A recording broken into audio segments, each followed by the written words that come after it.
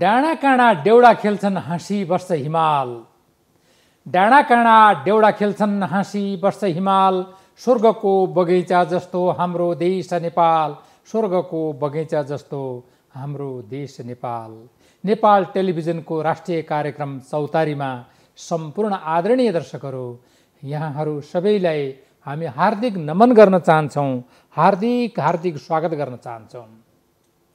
स्रष्टाहरूमा समर्पित कार्यक्रम हो चौतारी। चौतारीमा हामी पुराना पिँढीका नयाँ पिँढीका हरेक पिँढीका हरेक विशिष्ट साधकहरूलाई हामी निमन्त्रणा गर्ने गर्दछौँ। यसै सिलसिलामा आज हाम्रो माझमा हामीले निमन्त्रणा गरेका छौँ। विष्णु कुमार जोशी वरिष्ठ लोक गायक पुराना पिँढीका स्रष्टा। म वरिष्ठ लोक गायक विष्णु कुमार जोशीज्यूलाई कार्यक्रम चौतारीमा हार्दिक स्वागत गर्न चाहन्छु। नमस्ते। नमस्ते। मेरो तर्फबाट चाहिँ नि हार्दिक आभार व्यक्त गर्दछु। यहाँसम्म मलाई आज चाहिँ नि यो जुन मौका दिनुभयो यसको लागि म धेरै आभारी छु। त्यस पछाडि अब मेरा जति पनि मेरा प्यारा मलाई चाहने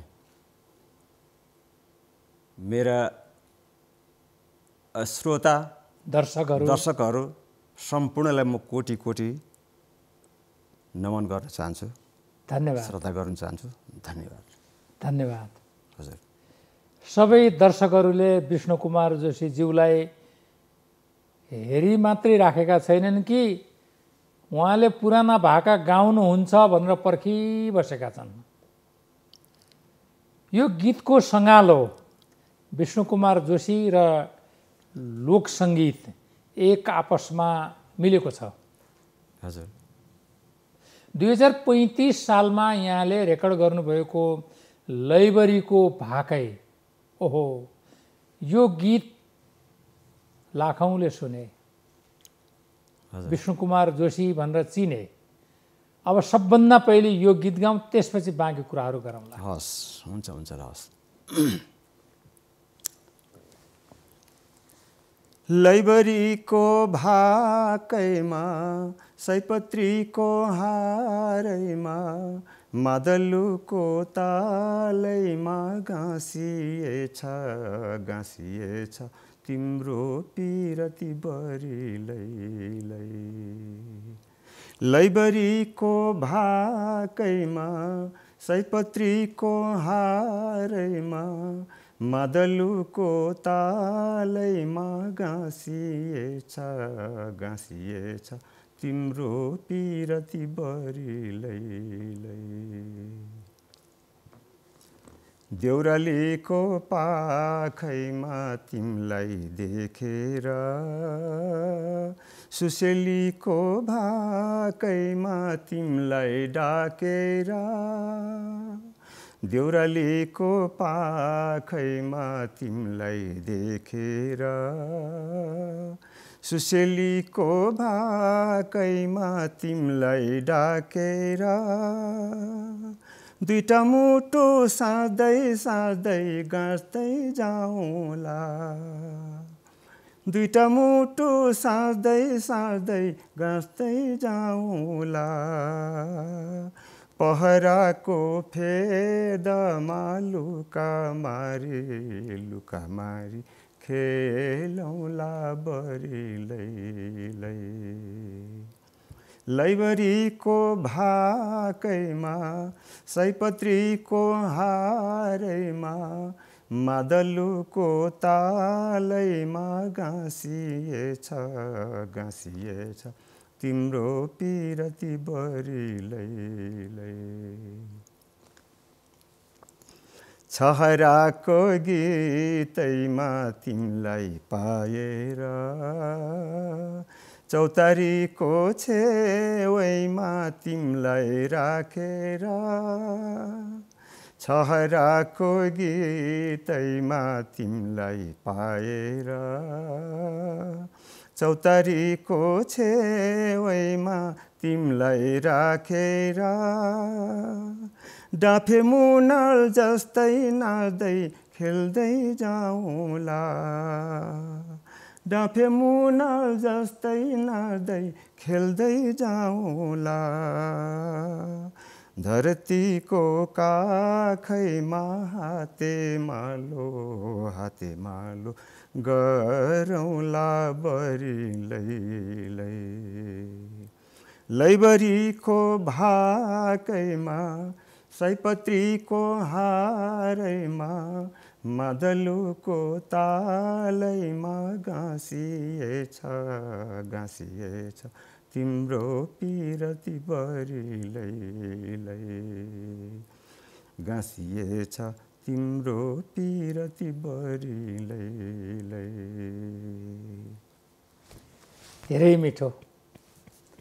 धेरै मिठो गाउनुभयो। बिना बाजामा गाउनु अलिक गाह्रो त गाह्रै हुन्छ होइन यस्तै एकहोरो पर्छ सास सङ्गीतमा औँला फिजाएको बानी बिना सङ्गीत अलिकति गाह्रो हुन्छ। यो गीतको सङ्गीत संयोजन कसले गर्नुभएको हो? यो चाहिँ नि हाम्रा दार्जिलिङका दिग्गज शब्दकार सङ्गीतकार सङ्गीतकार भन्नै पर्यो के उहाँ भाका त उहाँहरूले बनाउनु भएको हो। विष्णु प्रभाकर घिसिङ शब्द उहाँको हो। हजुर। धुन तयार पार्नु भएको चाहिँ डिबी घिसिङजी उहाँहरू दाजुभाइ हुनुहुन्छ। दाजुभाइले दाजुभाइ डिबी घिसिङ दाजु अनि विष्णु प्रभाकर घिसिङ भाइ हुनुहुन्छ। परिवेश कस्तो थियो? रेकर्डिङ गर्दाखेरिको परिवेश कस्तो थियो? अब मैले कहाँदेखि भन्नुपर्ने? खासै यो गीत म गाउनु भनेर आएको होइन यहाँदेखि लैजाउँ क्या हो पनि हुन्छ। है? म त्यतिखेर चाहिँ जनकपुर चुरा काठमाडौँमा त्यहाँ काम गर्थेँ। अनि मैले र खिलेन्द्र कार्की भन्ने एकजना साथीले चाहिँ र नाद्यो माइचाङ डिमी डम्फुको तालैमा भन्ने गीत हामीले वीरेन्द्र सरकारको जन्मोत्सवको उपलक्ष्यमा गाउने भनेर त्यो एउटा सेलो बिटको गीत तयार पारेको। र अनिखेर पछि मलाई त्यो सेलो गीत बिटको गीत चाहिँ नि यो राम्रो हुन्छ यस्तो गीत चाँडो हिट हुन्छ भनेर मैले चाहिँ के सोचेँ भने त्यतिखेर मेरा दिदीको चाहिँ नि मखमली चोलो चाहिँदैन मखमली चोलो चाहिँदैन भन्ने गीत त्यो चलेको थियो। अनि मलाई यदि दिदीले मान्दैदेखि त्यो यो गीत चाहिँ उहाँसँग गाउनु पाउँथ्यो भनेर त म आएँ। तर मलाई पत्याउनु भएन उहाँले नपत्याएपछि अनिखेर म मदन दाई मदन परियार दाई उहाँ बित्नुभयो। उहाँ मेरो आफ्नो दाई जस्तै उहाँले मलाई धेरै कुरामा सल्लाह दिनुहुन्थ्यो साथ दिनुहुन्थ्यो। र अनिखेर दाई मलाई त खै यसो भन्नुभयो मलाई फुर्सद छैन अरूसँग गाउनु भनेर भन्नुभयो। तपाईँलाई नपत्याएको तपाईँ छोड्नुहोस् यो चक्करमा नलाग्नुहोस् तपाईँ चाहिँ नि कुनै सिङ्गल छैन तपाईँको भनेर चाहिँ नि अनि मैले सुनाउँदै जाने क्रममा अनि चाहिँ नि हो यो गीत गाउनुहोस् ल तपाईँले। मदन परियार दाई मदन दाईले भन्नु मदन परियार दाईले। र अनिखेर यो गीत अब त्यो बेलामा फेरि तपाईँको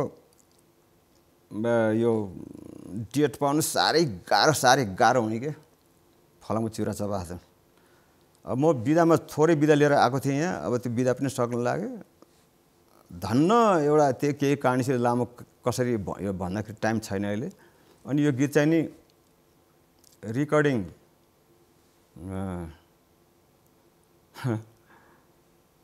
यो यस्तो किसिमबाट गाउनु भन्नुभएको थिएन है मलाई। अर्कै टाइपले गाउनु भन्नुभएको थियो। मेरो यो गीतको चाहिँ गीत मैले गाइरहेको थिएँ यो धुनमा यो प्याटर्नमा तर उहाँले मदनले अर्कै टाइपले भन्नुभएको थियो। मलाई चित्त बुझाएको थिएन। ए। र अनिखेर मैले त्यो ल टेक भनेर भनेपछि मैले आफ्नो पुरा पारा छोडिदिएँ यो चाहिँ नि लाइब्रेरीको भागेमा। आफ्नै जसरी मलाई चाहिँ गाउनु मन लागिरहेको जसरी म गाउँथेँ त्यो प्रकारको आफ्नो छोडिदिएँ मैले पारा छोडिदिएँ। त्यो भएपछि अनिखेर त्यहाँ मन परायो सबैले एकैपल्टमा त्यो ओके भएको थियो। हुन त टेक त दोस्रो पनि हुन्छ नै भयो दुई टेक भयो। तर चाहिँ नि अनि अब कुन राखौँ त ल भनेर भैरबहादुर दाई त्यतिखेर उहाँ हुनुहुन्थ्यो। भैरबहादुर थापा। थापा। अनि उहाँले चाहिँ मलाई सोध्नुभयो मैले पनि अब मदन परिया दाई मेरो उहाँ बुवा जस्तै मान्छे उहाँ मेरो चाहिँ सम्मानित व्यक्ति। उहाँले के भन्नुहुन्छ? उहाँले भनेकै कुरा म स्वीकार्छु भनेर भनेर अनिखेर मदन दाईले चाहिँ एउटा रेकर्ड रहन्छ यो फर्स्ट टेकमै एकै टेकमा चाहिँ ओके भएको भनेर भनेर तपाईँ यो फर्स्ट टेकै राखिदिने भनेर। राम्रो पनि धेरै राम्रो छ। यो गीतले त धेरै मान्छेको मन पगाल्यो। यो गीतमा मूल कुरा दुईवटा विशेषता रहेको देखिन्छ। एउटा त नेपालको प्राकृतिक सौन्दर्यको वर्णन यसमा प्रचुर मात्रामा गरिएको पाइन्छ। हिमाल पहाड तराई जनजीवनलाई यसले बडा राम्रो वर्णन गरेको छ। अनि अर्को त्योभन्दा ठुलो विशेषता भनेको नेपालको लोकगीति क्षेत्रमा अथवा लोकगीतको क्षेत्रमा यसले राम्रोसँग प्रवेश पायो। त्यो राम्रो प्रवेश पाएको हुनाले नै यो गीत बढी प्रचारमा आएको हो भन्ने हामीलाई लाग्दछ। विष्णु कुमार जोशीको यो मिहिनेत वास्तवमा सार्थक रहन गयो। कस्तो लाग्छ? मलाई एक दुईवटा जिज्ञासा यहाँ पुरानो कलाकार पुरानो स्रष्टा त्यो बेलाको माहौल रेडियो नेपाल यहाँले भनिहाल्नुभयो। गीत गाउनको लागि मिति पाउन फलामको चिउरा चपाए जस्तै। अहिलेको जस्तो कुनै सञ्चारका साधन त्यो बेला थिएनन् मात्र रेडियो नेपाल। कस्तो त्यो बेलाको परिवेश तपाईँसँगका साथीभाइहरू को को थिए कस्तो परिवेश थियो अलिकति पाउन निवेदन अहिले मलाई सपना जस्तो लाग्छ है त्यतिखेरका जुन साथीहरू सम्झन्छु मलाई त्यो क्षण कति रमाइलो लाग्छ कि? अहिले सबै छिन्न भिन्न गए भएर गए। तर त्यतिखेरका जुन साथीहरूले कस्तो चाहिँ टिपेर ल्याउनुहुन्थ्यो त्यो चाहिँ बगैँचाको एउटा राम्रो फुल टिपेर ल्याएको त्यसरी ल्याउनुहुन्थ्यो। अब यो कुरा गर्दै जाँदाखेरि तपाईँ अन्यथा नलिनु होला तपाईँको प्रसङ्ग म झिकेँ प्लिज है। कृपया। यो देउडा गीत भनी मलाई मैले सुनेकै थिएन थाहै छैन मलाई। एक्कासी चाहिँ नि नन्दकृष्ण जोशीज्यूले चाहिँ नि सुदूरपश्चिमको एउटा चाहिँ देउडा गीत गा गाउनु भएको छ भनौँ त्यो गीतको एकदम चर्चा भयो। हो। हेर्नुहोस् है। यो बाबा हो म तपाईँसँग चाहिँ यसो गरी फेस टु फेस म तपाईँसँग यसरी परिचित थिएन होला सायद मलाई लाग्छ है त्यो बेलामा। तर नन्दकृष्ण जोशी को होला कस्तो गीत लिएर आउनु भएको मैले त गीत त सुनिरहेको छु अब यो त यो त पहिला थिएन यो त ऐतिहासिक एउटा चाहिँ गीत भयो। र यसरी तपाईँले एउटा यो भित्राउनु सफल हुनुभएको छ। यसको लागि तपाईँलाई त म चाहिँ नि बादशाह यो चाहिँ नि देउडा गीतको चाहिँ तपाईँ एउटा बादशाहको रूपमा तपाईँलाई म गर्नु पछि आयो देउडा गीतहरू धेरै पछि थाहा पाइयो। तर जुन तपाईँले सुरुमा चाहिँ यहाँ रेडियो नेपालमा भित्राउनु भयो हामीहरूलाई यो एउटा के हो रहेछ भन्ने कुरो थाहा पाउनुको लागि तपाईँले जुन यो चाहिँ मौका दिनुभयो यो हाम्रो उता भनौँ न हाम्रो नेपाल त तपाईँको चाहिँ नि धेरै किसिमका यी चाहिँ नि रीतिरिवाजहरू भएको धेरै यस्ता लोक संस्कृतिहरू भएको देश हो। त्यहाँबाट तपाईँले हेर्नुहोस् टिपेर ल्याउनु भएको एउटा यो कति मिठो एउटा चाहिँ कस्तो मिठो लाग्छ मलाई अघि र अब अहिले तपाईँको त्यो बेलामा चाहिँ नि रेडियो नेपाल एउटा थियो अनि गीत सुन्नु पनि सजिलो थियो है। तर अहिले त अब विभिन्न छ्याछ्याती कुनै गीत बज्यो भने पनि अब कहाँ कसको बज्यो थाहा पनि नहुने र अनिखेर त्यतिखेर गाउँ गाउनका लागि तपाईँको धेरै चाहिँ अब लोकगीत गाउँदाखेरि पनि लोकगीत यसरी चाहिँ जबरजस्ती अलिक हुँदैन थियो। हुँदैन थियो। बनाउनु त बनाइन्थ्यो त्यतिखेर पनि। त बनाए तापनि के हुन्छ भनेदेखि त्यो अलिक त्यो लोकगीतको चाहिँ नि मलाई चाहिँ एकदमै ख्याल राखिन्थ्यो के ख्याल राखिन्थ्यो। त्यसरी अनि टक्क बनाउने तर दोहोरी भन्ने त्यतिखेर चलन थिएन। त्यो बेला थिएन। थिएन। अनि अब त्यो बेलामा तपाईँको भनौँ लोक गीततर्फ चाहिँ नि कुमार बस्ने दाई। उहाँ माहिर एकजना हुन्थ्यो भने ठिक अर्को फेरि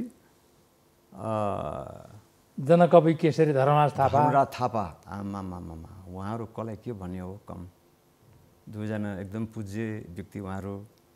तर उहाँहरूको चाहिँ नि त्यो गायन गीतहरूको चाहिँ नि एउटा प्याटर्न चाहिँ फरक थियो कि। प्याटर्न फरक तर दुइटै राम्रो हो। अति राम्रो अति मिठो। त्यस्तै अब त्यो त्यस ताका चाहिँ नि अब गणेश रसिक दाईहरू गणेश रसिक हिरण्य भोजपुरीहरू दाईहरूको उहाँको जोडी त्यस्तै राम्रो।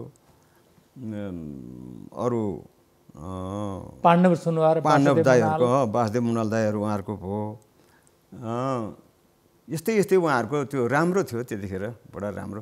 तर अहिले आएर तपाईँको चाहिँ नि लोक गायक गायिका अब यतिखेरको त्यस्ता चाहिँ त्यो टाइपको को छन् त को छन् यहाँबाट भन्दाखेरि म देखिरहेको छु नि तर तपाईँको त्यो मैले दोहोरी गाए गाएको कुरो चाहिँ गरिनँ है फेरि। जस्तो जुन हामीले गाउँथ्यौँ त्यो टाइपको चाहिँ नि यो लोक गायकहरू। होइन? फरक छ नि यो तपाईँको यो पहिला जुन हामीले गाउने चाहिँ अन्तरा त्यो तिन चारवटा अन्तराभन्दा बढी हुँदैन थियो होइन? त्यो यो त्यो बेग्लै हाम्रो थियो भनेदेखि अहिले यो पश्चिमतिर चाहिँ खास गरेर पश्चिमतिर पश्चिमेलीहरूले जुन अहिले दोहोरी ल्याए होइन? त्यो गीतको उहाँहरूलाई म उहाँहरूलाई त म त यति सम्मान गर्छु बाबा म त दोहोरी गीत। कुरा गर्न सक्दिनँ अचम्म। राजु परियार लगायतका राम, राम, बिमा कुमारी दुरा लगायतका राजु परियार लगायतका। हजुर। अब उहाँहरूको त नाउँ लिएर कतिजना भन्नु थुप्रै छन् हौ थुप्रै छन्। हरिदेवी कोइराला हरदेव कोइरालाहरू अघि यी नाउँ पनि भन्नु अब चाहिँ नि सबैको आउँदैन भनेर साथीपछि चाहिँ कति छन् यस्ता त म त भने नि यो चाहिँ पश्चिमतिरका चाहिँ नि तपाईँको दिएकै रहेछ क्या यो वरदानै दिएर छ पश्चिमेलीहरू चाहिँ नि यो के अरे के कवि भन्छ? जनकवि के होइन होइन जनकवि होइन के? तपाईँको अलिमिया? त्यो भने अरे मैले। आँसु। आँसु कवि। आँसु कवि कवियत्री। त यस्ता त कति छन् कति छन् पश्चिमतिर त। यो त जति पनि दोहोरी गीत गाउँछन् उहाँहरू त आँसु कवि कवियत्रीको रूपमा उहाँहरूलाई राम राम। म त धेरै एकदम मलाई उहाँहरूको। हामी केही रहेनछ भनेर। यति उहाँहरूसँग त्यो एउटा प्रतिभा छ। प्रतिभाहरू हामीले यसो भन्दा कसो होला? यी कुराहरू गर्दै गर्दा नेपाल वास्तवमा अनौठो मुलुक। अनौठो यहाँ के छैन? सबै कुरा छ। यहाँ त त्यही त। अब भर्खरै हेर्नु त। भगवान्ले दिएको प्रदानको रूप हो हाम्रो मुलुक त भन्न हामीलाई मन लाग्छ। यो आफैमा पनि जस्तो यहाँकै पालामा विष्णुकुमार जोशी कल्याण कुमार कार्की बुद्धिकृष्ण लामी छाने। फरक फरक टाइपको उहाँको आफ्नो आफ्नो थियो है। कति रमाइलो फेरि। कति रमाइलो थियो। त्यो जमाना बुद्धिकृष्णजीको बेग्लै हेर्नुहोस् है त्यो। घाँस काट्नु खुर गर्नु त्यस्तै थियो। जयनन्द लामाको लामाको त्यो बेला। हजुर। अब एउटा फेरि अर्को गीत कृपया। आज मैले गीत गाउनकै लागि खास त समय सर्जक। हुनुहुन्छ विष्णु कुमार जोशी। कृपया अर्को गीत। अर्को चाहिँ समय थोरै छ हामीसँग। अर्को त्यसैले समयको पाबन्दीलाई हामीले ध्यानमा राखेर मैले आदरणीय दर्शकहरू विष्णु कुमार जोशी जो पुरानो पिँढीको असल स्रष्टा हुनुहुन्छ लोक सङ्गीतको उहाँसँग हामी भलाकुसारी गरिराखेका छौँ। अब अर्को गीत कृपया। अर्को गीत चाहिँ नि पहिलोचोटि रेडियो नेपालमा रेकर्डिङ भएको गीत। मैले आफैले चाहिँ त्यसको रचना र धुन बनाएको। शनिबार एक दिन एक दिनको कमाइ मेरो त्यो त्यो गीत गाउँदैछु म। चौतारीमा हरियो बर निर्मोहीको के गर्नु है भर? चौतारीमा हरियो बर निर्मोहीको के गर्नु है भर? हिमाल चुली पल्लोपट्टि हलहलेको साग छ। हिमाल चुली पल्लोपट्टि हलहलेको साग छ। बिर्सु मैले कसो गरी सम्झु माया लाग्छ।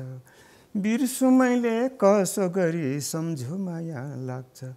चौतारीमा हरियो बर निर्मोहीको के गर्नु है भर? निर्मोहीको के गर्नु है भर एक एक कति मिठो, कति मिठो। गीत अलिक लामो छ है। हजुर। नभ्याउला भनेर। ठिकै छ ठिकै छ। समय कम छ। कस्तो लाग्छ यो गीतहरू समाजलाई उपहार दिँदाखेरि सबैले विष्णु कुमार जोशीको नाम लिँदाखेरि गर्विलो अनुभूति हुन्छ कि हुँदैन? त्यो त स्वाभाविक कुरा हो गर्विलो हुन्छ हुन त तर आफूलाई एउटा पश्चाताप के पनि छ भनेदेखि अहिले मलाई धेरैले साथीहरूले धिकार छन् तिमी धेरै अगाडि पुग्नुपर्ने मान्छे किन पछि पऱ्यो किन ओझेलमा बस्यो भनेर। अब यो मेरो बाध्यता थियो हेर्नुहोस् है मेरो त्यतिखेर चाहिँ नि अब काठमाडौँमा मेरो घर छैन केही छैन डेरामा बस्नुपर्ने क्रमशः चाहिँ बोझ थपिँदै जाने हो होइन? परिवारहरू बढ्दै जान्छ। त्यो अवस्थामा फेरि मेरो बिलीबाट होला मैले बच्चाहरूलाई दुःख दुःख दिनु होला। अब त्यो मैले कसरी त्यसको बारेमा विचार गर्ने भन्ने अलिकता त्यो गम्भीर मोडमा पुगेपछि अब म के गर्ने होला भनेर कुन चाहिँ अँगाल्ने तर दुइटै नाम खुट्टा राख्दाखेरि त फेरि सफल नहुन सक्ला भनेर अब आफ्नो व्यवसायतर्फ लागौँ कि उतातिर गायनपट्टि लागौँ भनेर? गर्दाखेरि त्यो बेलामा अहिले जस्तो स्कोप पनि अलिक थिएन। छँदै थिएन के? धेरै गाह्रो कुरा थियो। त्यो भएर अनिखेर मैले चाहिँ हुन्न यसरी। यो मेरो व्यवसायलाई चाहिँ मैले पहिलो प्राथमिकतामा त्यसमा राख्नुपर्छ भन्दाखेरि तपाईँको यो गायन क्षेत्र मेरो चाहिँ नि लामो समय नै ओझेलमा पऱ्यो हो लामो। समय। त्यसबाट म ग्यापमा बसेँ ल। तर जति गाउनुभयो जति यहाँले उपहार दिनुभयो समाजलाई ती गीतहरू अविस्मरणीय छन्। मन र मस्तिष्कलाई छुन्छन्। अब जाने बेलामा एउटा छोटकरीमा एउटा गीत। जाने बेला भइसक्यो अब? भइसक्यो। जाने बेला त अब समयको पाबन्दीमा हामीले बस्नै पर्ने हुन्छ। मिठा मिठा भाकाहरू छन् यहाँका। ती मिठा भाकाहरूलाई छोटकरीमा यहाँले अब जाने बेलामा कृपया। गीत एउटा चाहिँ आदरणीय दर्शकहरू कार्यक्रम चौतारी। यहाँहरूको आफ्नो रोजाइको कार्यक्रम हो। कहिले हामी कलाकारसँग गफिन पुग्छौँ कहिले कवि कवयित्रीहरूसँग पनि हामी वार्तालापमा हुन्छौँ र कहिले हामी हो समाजका अरू स्रष्टाहरूसँग पनि गफिन पुग्छौँ। कुराकानी संवाद उहाँहरूसँग हुने गर्दछ। अहिले अब हामी करिब करिब अन्तिम अवस्थामा पुगिसकेका छौँ। समयको विष्णु कुमार जोशीको अर्को मिठो भाका। हस्। यो हाम्रो विदुर खड्काज्यूको रचना। धुन तयार भएको चाहिँ नि सुन्दर श्रेष्ठीको है। सुन्दर श्रेष्ठ। श्रीमन्त श्रेष्ठकोमा बित्नुभयो अब यो अलिकता ठट्यौलो पारेको छ कि यो सुन्नु होला ल है त। दाइने सलाम नानीलाई देब्रे सलाम नानीलाई दाइने सलाम नानीलाई देब्रे सलाम नानीलाई। बोलाउँ भने साइनो छैन अघि जानेलाई। बोलाउँ भने साइनो छैन अघि जानेलाई। फुल टिपी लगाइदिउँ भने आफ्नो आँटै छैन। फुल टिपी लगाइदिउँ भने आफ्नो आँटै छैन। कसो गरी फकाउँ लाउन बोल्ने बाटै छैन। चुरा पोते लगाइदिउँ भने बिहे भएको छैन। चुरा पोते लगाइदिउँ भने बिहे भएको छैन। स्वयंवर नै गरौँ भने औँठी ल्याएको छैन। दाहिने सलाम नानीलाई देब्रे सलाम नानीलाई दाहिने सलाम नानीलाई देब्रे सलाम नानीलाई बोलाउँ भने साइनो छैन अघि जानेलाई। बोलाउँ। भने साइनो छैन अघि। जानेलाई। मिठो गीत। हजुर। कार्यक्रम चौतारीमा आइदिनु भयो। विष्णु कुमार जोशीज्यू हामी हार्दिक धन्यवाद दिन चाहन्छौँ। बाँकी फेरि हामी कुनै बेला यहाँसँग भेट्ने बाचा गर्दै अहिलेलाई हामी बिदा पाउँ है त। हस् धन्यवाद। धन्यवाद धन्यवाद। आदरणीय दर्शकहरू विष्णु कुमार जोशीको लोक सङ्गीतको पाटोसँगै हामी कार्यक्रम चौतारीबाट बिदा माग्न चाहन्छौँ। हवस् त नमस्ते।